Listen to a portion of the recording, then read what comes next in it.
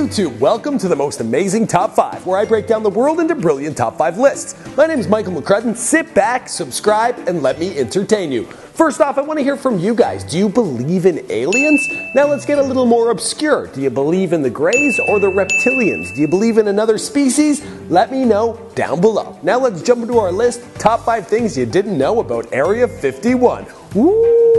In the number 5 spot, the US government finally acknowledged its existence only in 2013. They stated that it was a test facility for aerial and surveillance technology. Not exactly the juicy stuff we all wanted to hear. Area 51, located 125 miles northwest of Las Vegas, is synonymous in popular culture with government secrecy, and many have theorized that it holds answers to one of the greatest questions plaguing mankind. Are we alone in the universe? Agent Mulder, David Duchovny, he still wants to know. In 2013, CIA documents officially acknowledged the site according to some reports, which included a map of the base's location in Nevada. Area 51 was merely a testing site for the government's U 2 and Oxcart aerial surveillance programs. The U 2 program conducted surveillance around the world, including over the Soviet Union during the Cold War. It's U 2, not like the band U 2, not like they built this base just to watch a bunch of Irish guys make music.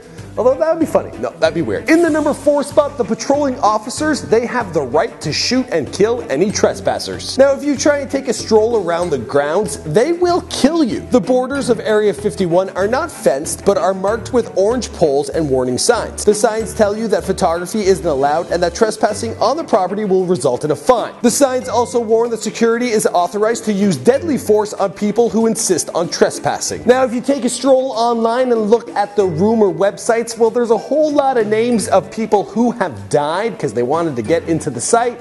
So proceed with caution. And if you still think it's worth the risk, there are sensor detectors and officers dressed in camo who patrol the hood day and night. So best of luck to ya. Do not turn on that flashlight. I'd recommend some x-ray vision at the very least. In the number three spot, we have the Sci Fi Brothel just down the road. It's a galactic themed brothel that brings to life sci fi geeks' wildest fantasies, incorporating sex into an array of settings from famous sci fi films and TV shows. It's might what you call the Triple X Files, and it's all legal. They're in Nevada.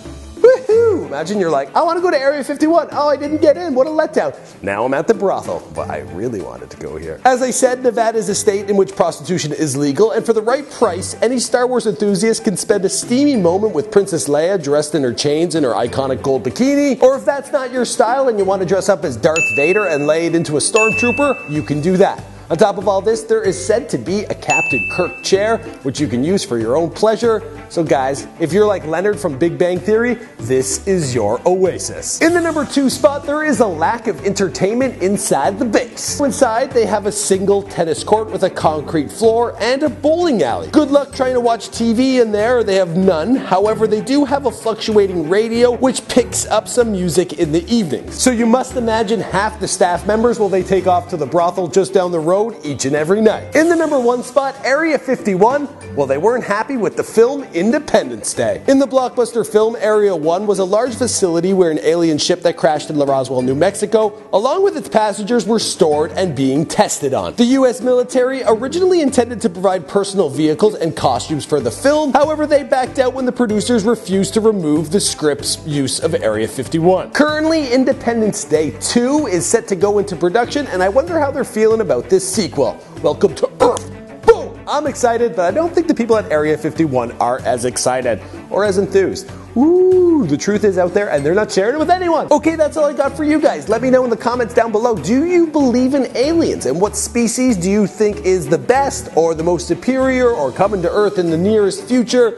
Let me know all your thoughts in the comment section. Also, be sure to subscribe to the most amazing top five if you haven't already. My name is Michael McCrudden, and I'm pumping out six videos a week. I think we're going to have even more coming in the future. So it's about time you sat back, relaxed, and let me entertain you because this is about to hit warp speed. Warp drive? Uh, I'm not really a sci fi guy.